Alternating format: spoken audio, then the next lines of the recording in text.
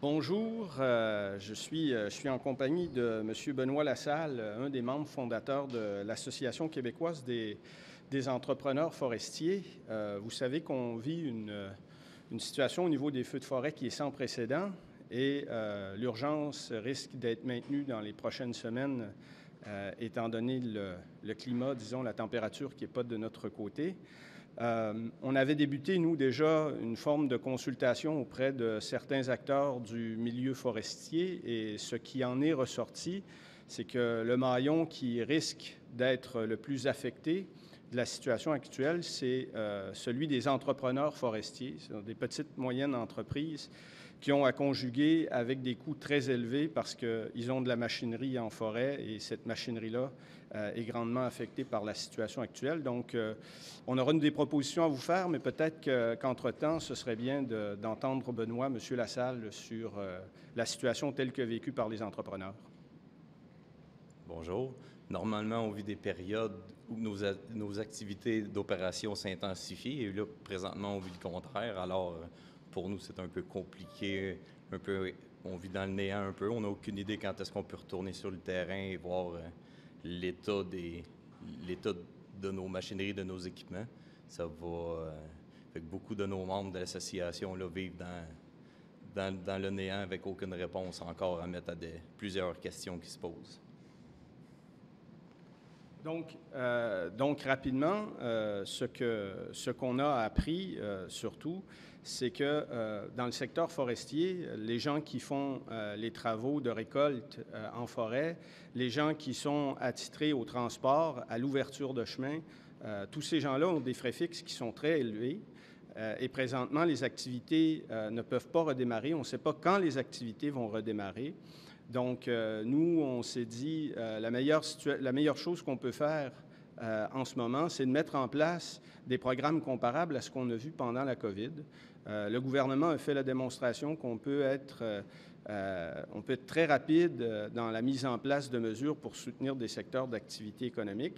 Donc, la première mesure que, que nous, on voyait, on sait qu'il y a des gens qui vont perdre de la machinerie parce que ces, machineries-là sont jointes, même si les gens ne peuvent pas avoir accès en, forêt, ils sont joints généralement à des GPS qui envoient des signaux pour les propriétaires de machinerie. Comme les signaux sont éteints, on s'attend à ce qu'il y ait plusieurs personnes qui aient perdu de la machinerie.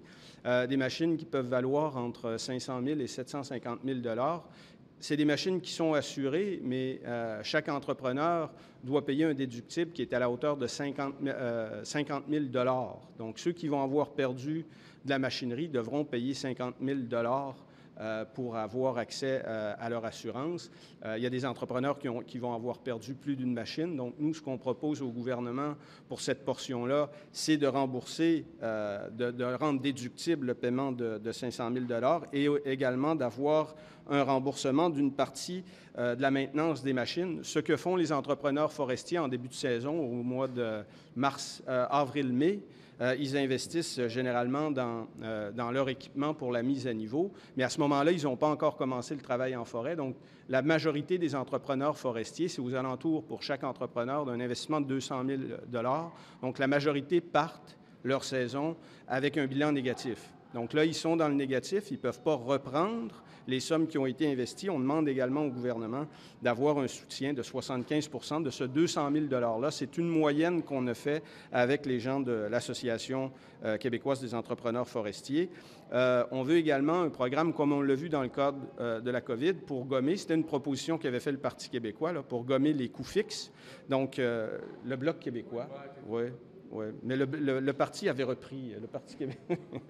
Donc, c'est une proposition qu'avait fait le Bloc québécois, le remboursement des frais fixes. Si vous vous rappelez bien, c'était 75% des frais fixes euh, qui étaient remboursés euh, lors de la COVID.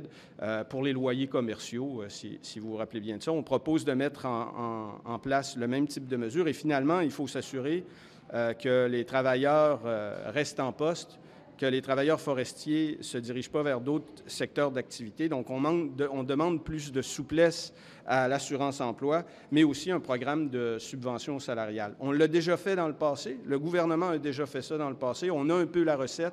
Maintenant, ça prend simplement le courage du gouvernement pour mettre ça en application. Et je tiendrais à vous faire remarquer que tout le monde parle depuis quelques semaines de la possibilité d'aller chercher le bois qui a été brûlé. Mais si on n'a pas le maillon des entrepreneurs forestiers, ça va être impossible d'aller chercher le bois qui est brûlé. présentement, ils sont dans une situation qui est difficile. Il faut trouver une façon de soutenir cette activité économique-là, euh, qui est fort importante au Québec. Et on pourra documenter, c'est encore difficile pour les gens de l'association de le documenter puisqu'ils n'ont pas accès à la forêt, mais on pourra documenter plus tard euh, l'ampleur des pertes, mais on peut juger euh, facilement aujourd'hui qu'il euh, y a des gens qui vont avoir de la difficulté euh, à se relever de la, situation des feux de forêt. Voilà. Avez-vous, euh, monsieur de l'association La Plante, hein, votre nom de famille? La Salle. La Salle, pardon. Avez-vous jusqu'à maintenant fait un état des pertes qui sont encourues par vous On ne peut pas faire encore l'état parce qu'on n'a pas accès encore sur le territoire pour constater les dégâts, l'envergure des dégâts. Vous avez des, pertes d'activité économique, là, dans le fond? Euh, oui, parce qu'on est sans opération. On ne peut pas les calculer parce qu'on ne connaît pas la date de la fin de nos pertes encore. Vous n'êtes pas capable de dire, mettons, depuis le début des feux de forêt, telle date, on a perdu X montant? Bien, probablement qu'on pourrait le dire, mais je n'ai pas le chiffre euh, tant que vous dire euh, des choses pas véridiques. Par rapport à la main-d'œuvre, exactement? Que la main-d'œuvre parte dans d'autres secteurs d'activité. Parce que là, ils ne travaillent pas. Parce qu'ils sont sans, sont sans emploi.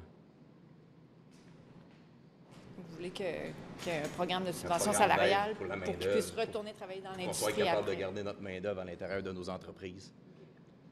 Monsieur Smart, je n'ai pas très bien compris sur, euh,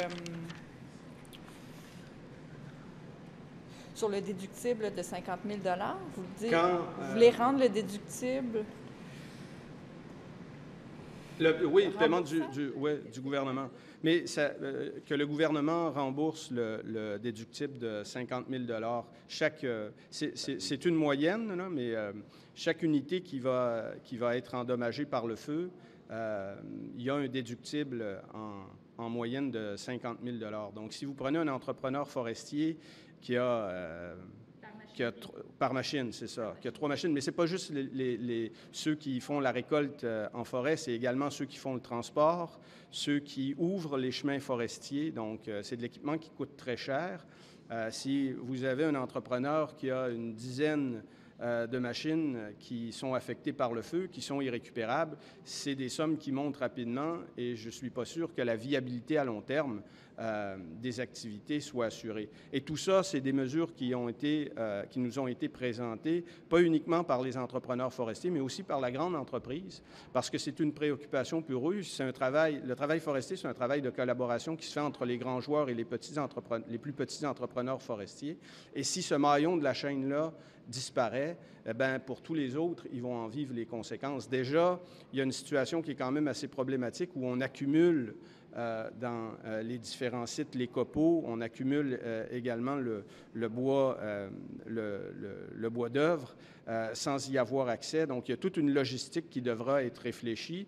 Et dans cette logistique-là, un des maillons les plus importants, c'est celui des entrepreneurs forestiers, qui était déjà fragilisé. Là, si vous parlez aux gens du Conseil de l'industrie forestière, dans les dernières années, ils ont des difficultés de recrutement, puis il y a de plus en plus d'entrepreneurs qui se découragent et qui vont décider de faire autre chose. Donc, c'est un secteur d'activité qui était déjà fragilisé. Puis, euh, M. Lassalle, du côté du gouvernement du Québec, avez-vous eu des nouvelles? Est-ce qu'il y aurait des programmes d'aide aussi de ce côté-là? Non, j'ai aucune nouvelle de leur part. Vous des demandes en particulier? Aucune demande encore. Vous n'avez pas fait de demande encore? Non. Mais on savait, il existe euh, à Québec, il existe un programme pour récupérer euh, le bois brûlé parce que les, les coûts sont plus élevés lorsqu'on va chercher du bois brûlé. Donc, ce programme-là, il existe. Euh, et il est déjà en place et il satisfaisait les gens par le passé.